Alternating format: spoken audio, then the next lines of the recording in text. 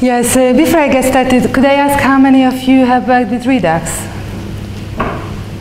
How many of you have worked on a Redux middleware? How many of you are interested in learning more about middlewares but haven't yet worked with it? Great, let's write it up. Um, so, for those of you who haven't uh, worked with Redux before, um, just to go through what Redux is for. So in terms of um, an application, React is responsible for managing the state of the DOM. So it's uh, responsible for rendering, for um, DOM updates, where Redux will be responsible for managing the state of the application. So it will be keeping an object um, with all of the um, all of the application data relevant. So Redux's principles are uh, that it, it, holds a single source of truth. So that's where all of the application state is going to come from. That means that your React, uh, React components won't actually hold their own state.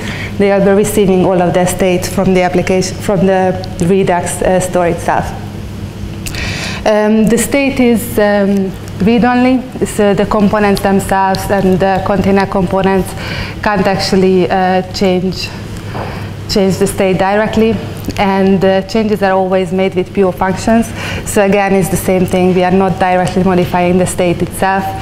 Um, whenever we make a change, we are returning a new uh, instance, of the instance of the state.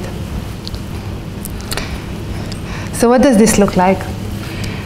Um, in terms of the application itself, uh, this part is going to be responsible for our view and for our layout.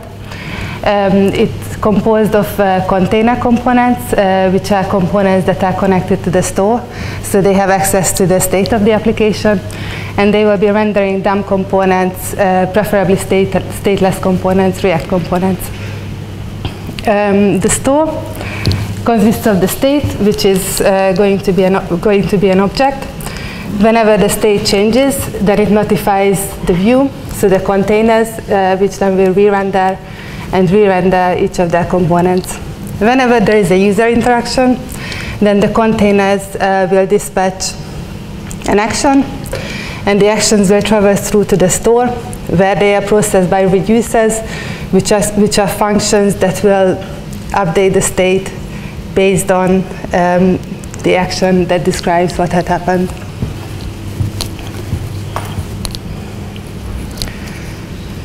So this is a very simple little application. Um, I named it Judit's Movie Database.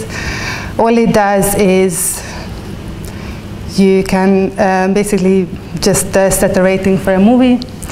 If you say that you have watched the movie, then again, it gives you an um, opportunity to set the rating for that movie.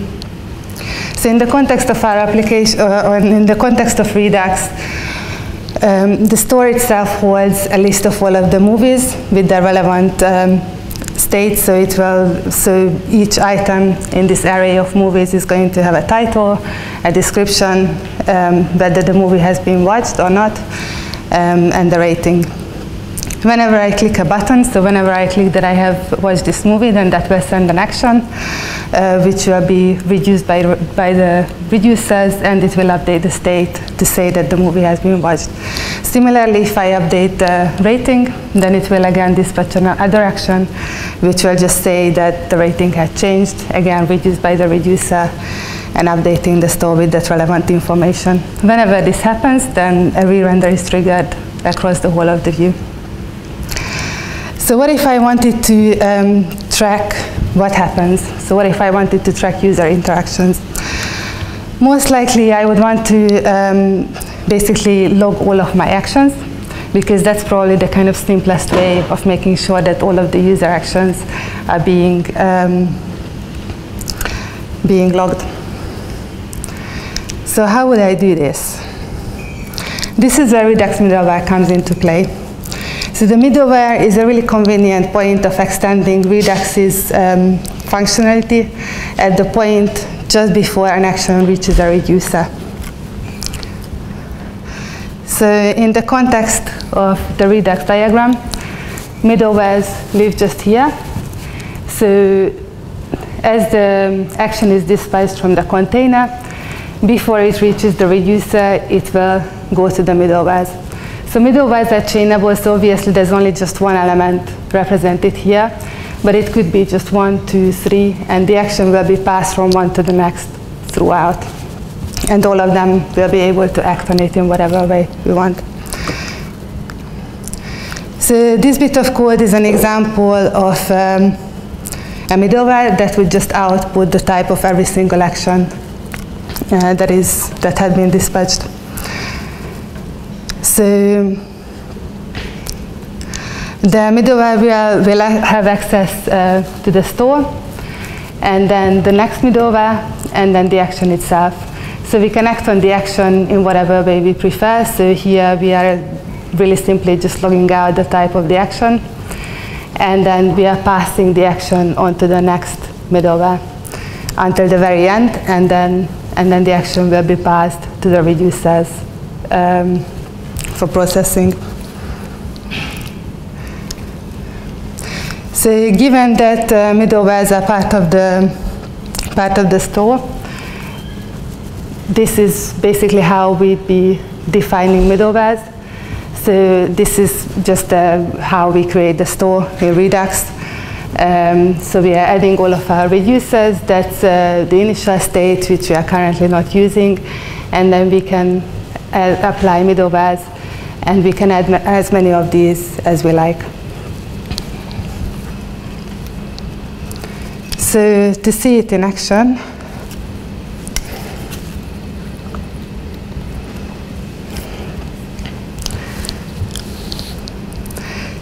So as you can see, whenever I, so when I press the, yeah, so when I press the, the watch movie button, I had an event dispatched or an action dispatched uh, with the index of the movie so that I can find it in the array in the store and update the relevant movie that it's been watched. And then when I set the rating, uh, then again, I had another um, action dispatched again with the index of the movie and then the relevant rating. So what if I wanted to go further?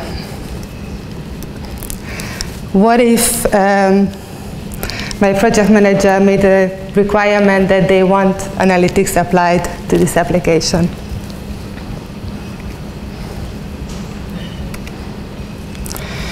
And the requirements are as follows. They obviously want to um, track the watch status change on each of the movies. They also want to track the rating change. But rather than just um, getting the index of the movie in, um, in the tracking event, they all want to get the actual title of the movie, which is obviously going to be more relevant to the project management side of the business. So given what we have observed before, we will most likely just set up um, another middleware, which will operate very similarly to the previous one. So again, we've got the store, the next, uh, next middleware action. Um, this is our Google Analytics tracking code. We are written in the next action. And here, rather than directly uh, processing the action, we created a map so that we can look up what kind of tracking we want to implement on, um, on each of the actions. So this is just a bit of abstraction, it's just kind of making the code tidier. And it also allows it to, well, it allows uh, much, well, just different types of functionality to be implemented for each action. So then our options map, with an example here, um, is basically because we have access to the store and the state, we can just um, well, get the states from the store. We evaluate which movie we are looking at. Um, this is really just some Google Analytics stuff, so our event category, let's say by the project manager, manager was defined as movie.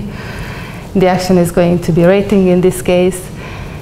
And um, we can get the movie title because we were able to access the store and we just use the movie index to get the relevant movies information. Um, and they said that back, event value is then going to be the rating.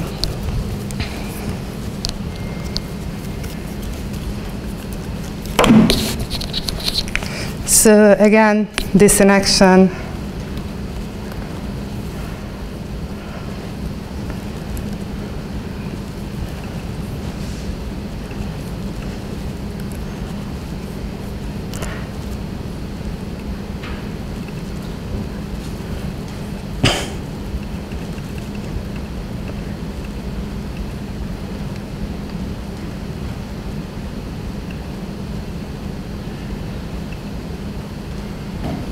Oof.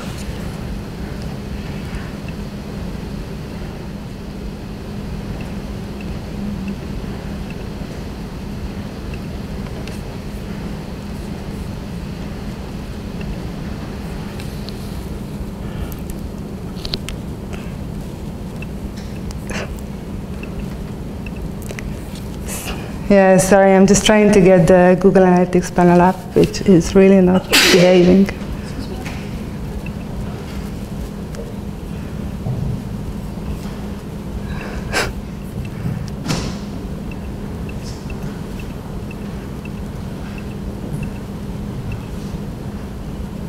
you think it's because you're starting from files and So, Yeah.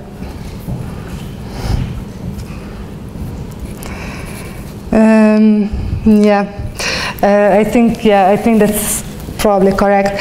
Um, yeah, so in any case, you should, you would have seen uh, basically the Google Analytics logging just in there. Um, based on that code, but I guess that's not going to happen today.